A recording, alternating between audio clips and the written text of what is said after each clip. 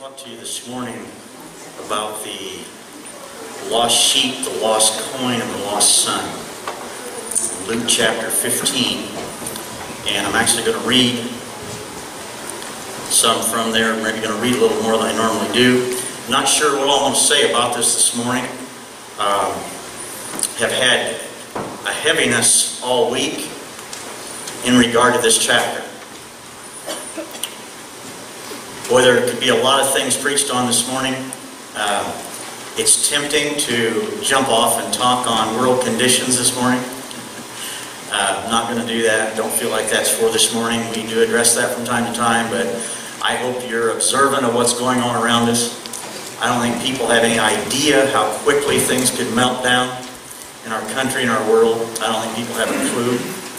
Um, people live for now what can take care of me today? What can satisfy my need this week? What can get me by? And most live very self-centered lives, but there's some incredible things happening around the world, and uh, certainly the signs are in place for the return of Christ. Um, all these are the beginnings of birth pains, the Scripture says. So it'd be real easy to go that direction this morning, but uh, actually this is very strongly connected to that thought because um, we live in a day where we don't have a lot of time, I don't believe, left, and the call is for the great banquet, the table will be full, and to reach the lost around us. So it is very timely and connected to end times. But Luke chapter 15, if there's ever a chapter that tells the heart of God, I believe that Luke chapter 15 does. The lost sheep, the lost coin, and the lost son. If there's ever a chapter that tells the heart of God and who God is. He's shouting something to us in this chapter. And what a shame it is to miss it and not grasp the weight of it. Luke 15, then drew, then drew near unto him all the publicans and sinners for to hear him. And the Pharisees and scribes murmured, saying, This man receiveth sinners and eateth with them. And he spake this unto them What man of you, having a hundred sheep, if he lose one of them, doth he not leave the ninety nine in the wilderness and go after that which is lost until he find it? And when he hath found it, he layeth it on his shoulders, rejoicing. And when he cometh home, he calleth together his friends and neighbors, saying to them, Rejoice with me, for I found my sheep which was lost. I say unto you that likewise joy shall be in heaven over one sinner that repenteth, more than over 99 just persons that need no repentance. We already see in this chapter God has a different way of looking at things. That's not a very good business principle, do you think? Leave 99 and go look for one. And there's more rejoicing over one than the 99. That doesn't seem to fit modern day business principles, does it? The heart of God Verse 8 Either what woman having ten pieces of silver, if she lose one piece, doth not light a candle and sweep the house, and seek diligently till she find it? And when she hath found it, she calls her friends and neighbors together and says, Rejoice with me, for I've lost the piece that was lost, the coin that was lost. Likewise, I say unto you, there is joy in the presence of the angels of God over one sinner that repenteth. And then he said, A certain man had two sons. Notice, a hundred sheep, ten coins, two sons. A certain man had two sons, and the younger of them said to his father, Father, give me the portion of goods that falleth to me. And he divided unto him his living. And not many days after, the younger son gathered everything together and took a journey to a far country and wasted his substance with riotous living. And when he had spent all, there arose a mighty famine in the land, and he began to be in want. And he went and joined himself to a citizen of that country, and he sent him into the field to feed swine. And he would have filled his belly with the husks that the swine did eat. No man gave unto him. But when he came to himself, how long does that take? When he came to himself, takes a lot of patience on God's part for us to come to ourselves, come to our senses. How many years has it taken us If we were to go around the room and I were to say, my friend, how many years did it take you to come to your senses? And you were to ask me, how many years did it come take me to come to my senses? It also takes patience to wait on other people to come to their senses. When he came to himself, he said, How many hired servants of my father have bread enough to spare, and I perish with hunger? I will arise and go to my father, and I'll say to him, Father, I've sinned against heaven and before thee. I'm not worthy to be called thy son. Make me one of your hired servants. And he arose and came to his father. And when he was yet a great way off, his father saw him. This isn't a story about the prodigal son. If you were to ask most church people, what's the name of the story? They would say it's the prodigal son. No, it isn't. It's the story of a compassionate father.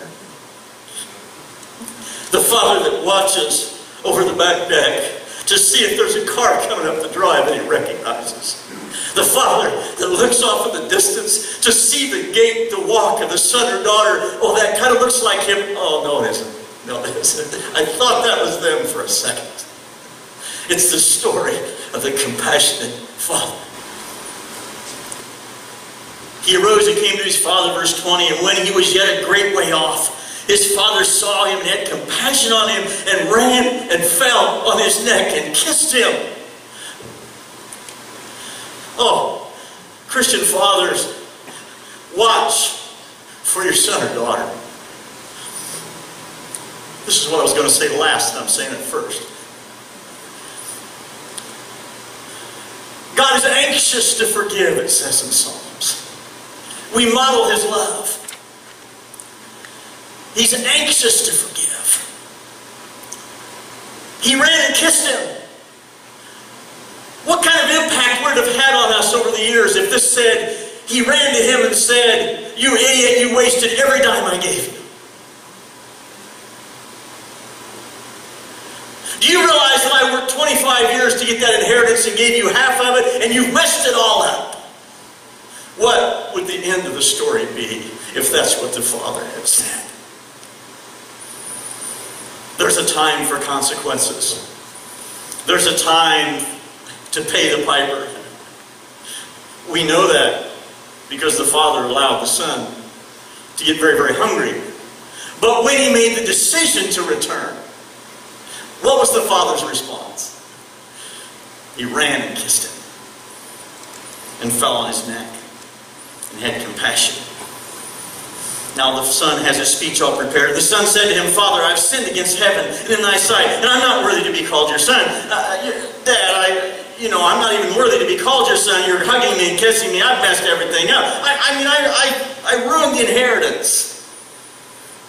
The father said to his servants, bring the best robe, put it on him.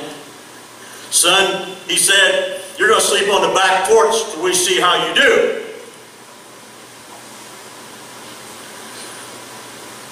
This story is the heart of God, and it's the model for us. Didn't know I was going to say all this. Bring forth the best robe, put it on him. Put a ring on his finger, put shoes on his feet, and bring the fatted calf and kill it. Let us eat and be merry. For this was my son that was dead, and he's alive. He was lost, and he's found. And they began to be merry. The elder son was in the field and as he came and drew nigh to the house, he heard music and dancing. And he called one of his servants and asked, What's this mean? What's going on? And he said, Thy brother has come, and thy father hath killed the fattened calf because he received his saving sound. He was angry. Why are you wasting your time on that boy? Well, I've heard that before. You know what that pastor's doing now? Pam, you remember this? We went to Chicago I saw 13, 14 year old girls made up and dressed up like they were 19 or 20 and dressed so sensual it was unbelievable. And they were being sold on the street as white slaves, receiving no income to support a pimp. Sick, sick, sick. And I said to myself, we've got to do something. And you know what local Christian people in this county said? We had someone say, you heard what they're doing now? Now they're preaching to prostitutes. What will they do next? What is wrong with us? He came to seek and to save that which was lost. Shame on you if you've had that attitude. I don't think anybody here does. I don't. And I'm not just trying to be nice to you. But boy, there's a lot of church people this morning. They haven't got a clue what I'm talking about. I'm telling you that Luke 15 is the heart of God. It is the heart of God. This older son said, Lo, these many years I've served thee, and I haven't transgressed against you at any time. But you've never thrown a party for me. But as soon as this thy son has come that has devoured his living with harlots, you've killed the fatted calf. And he said, Son, I want you to notice the compassion here. I'd have been ticked. I'd have dropped the ball big time here. Now, I didn't know I was going to say any of this. But I know what I, I know what my heart's saying. In growth, I'm going to talk to middle-aged and older Christians for, for a second. The rest of you still listening. I want to talk to middle-aged and older Christians for a minute. I think a lot of us do pretty good on this whole lost deal. We, the lost people, they kind of ring our bell. We've walked the Lord long enough, we get it, and we, and we. But I've had times I was bragging about my maturity and how, boy, boy, I'm, we're reaching out to these runaway kids and these prostitutes and all this. But I didn't have much patience with the older brothers. Anybody else? Anybody else had trouble with that? The older brothers are the people who hung in there and they kind of got an attitude about them and they're ticked off because the lost people are coming in. I've had times I just about to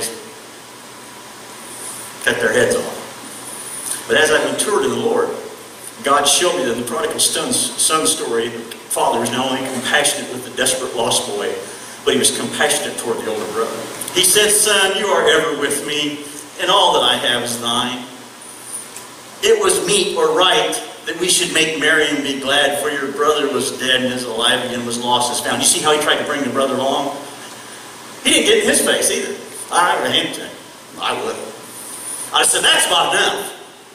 You mean this son comes back from the, from the dead, this horrible life, and you're ticked off about it? What kind of prideful attitude is that? That's what I would have said. But the father is so compassionate, and the depth his compassion is such that he tries to bring him along. He says, Can't you see that our son, our brother, he was lost and he's come back? Interesting that he searched diligently for the sheep, swept thoroughly for the coin, but waited for the son to return. Does that seem consistent? Wait a minute. If you went out for the sheep and you swept for the coin, then it seems like you ought to be out for 10 days hunting for the son. There's a powerful lesson in that. Sometimes we have lostness within the family. Been through this. Parents, it's difficult to wait with a heart of compassion. It's difficult to wait with a heart of compassion. Keep praying. I had a mother that believed I was called to be a minister. I told you, but some haven't heard. Of the day she came out, this will always be etched in my memory. Getting ready to take off on my motorcycle someplace I shouldn't be going, she took a hold of the right front fork of my, of my motorcycle. It's an old 70s chopper. Big long chrome front end. She took a hold of the one fork. tears were running down her face and she said, You're supposed to be a minister. And I'm praying for you. I'm not going to quit until you are.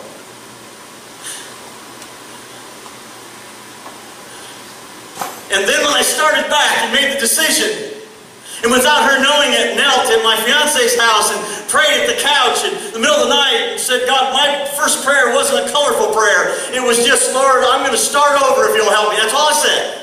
I didn't do the God be merciful to me to sinner thing or anything. All that came later. I just, but I really believe the point of repentance, God knows what you're saying in your heart. And when I knelt that couch, I said, Lord, if you will help me somehow, this awful mess I'm in, I'm gonna, things are going to turn around. What I meant is I'm sorry.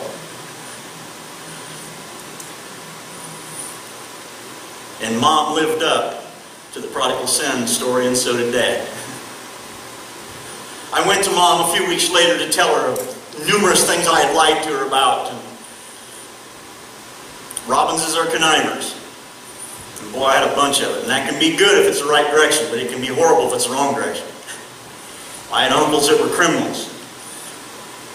I went to mom to confess a whole slew of things. And as I mustered up the courage one morning I'm going to tell her some things. I got to get this off my chest. And I, my voice was probably a little trimmed. I don't remember. But I said, Mom, and I stood up in her kitchen and I said, I need to talk to you about some things. She said, come here a minute. And she walked over to me and she's only hit me about here. And she put both arms around me and she said, honey, I don't want to hear any of it. she said, I got a feeling you got a whole bunch of things, but I don't want to hear any of it. And I want to tell you, you are forgiven totally, completely. Ran to meet me. You get me? Well, son, it's going to take 10 years of work to prove yourself to me, and after the 10th year, 11th year, we'll see if you get a second chance. You better be careful. The same measuring stick you use, God will use on you. And you're going to cut everybody off right like this, your days are coming. I'm not making threats to you. I'm just telling you what the Word says. It says with the same measuring stick you use, that's what's going to be used on you. Lost people. A heart of mercy. He waited for the son to come back. When he saw him, he ran to meet him. Where are you on this? We can paint outreach on into the building and put it on a thousand brochures.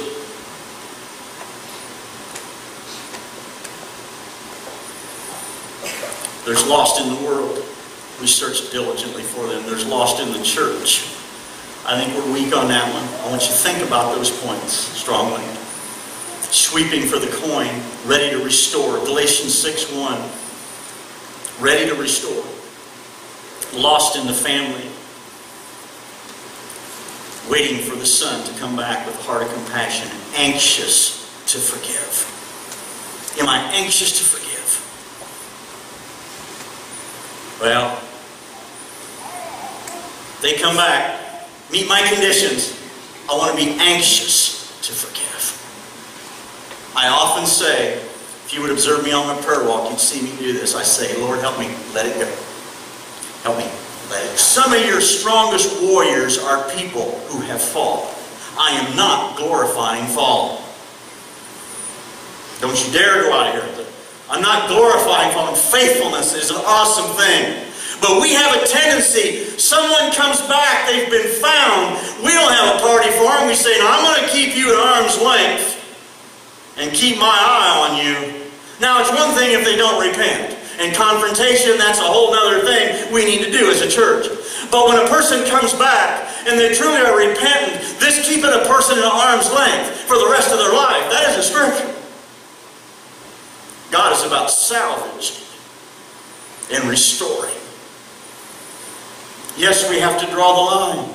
Yes, things have to change. But when that happens, I believe a person like that can be powerfully anointed, and you know why? because he who is forgiven much loveth much. I'd rather have an army of young Christians that have been, I don't mean this in a swearing sense, been to hell and back and made horrendous mistakes because those people will stick with you. I've been on the street with people working in the street ministry when we'd have drive-by shootings. It's 2 in the morning and all Hades is breaking loose on the street. And you stop at the street corner and pray. And you say to that person, do you want to go back to the ministry headquarters? No, because I've been where these people are. I want to help some of these people. You see, he was forgiven much loveth